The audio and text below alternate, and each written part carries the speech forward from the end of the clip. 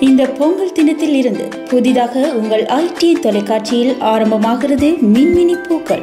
எமது சிறுவர்களுக்கான ஒரு நிகழ்ச்சி. உங்கள் சிறுவர்களின் திறமைகளையும் ஐடி தொலைக்காட்சியில் கண்ட மகள எங்களுடன் தொடர்பு கொள்ளுங்கள். வாரந்தோறும் சனிக்கிழமையில் ஐடி தொலைக்காட்சியில் மின்மினி பூக்கள். மயில்வெளியின் சிறுவர் பூங்கா. காண தவறாதீர்கள்.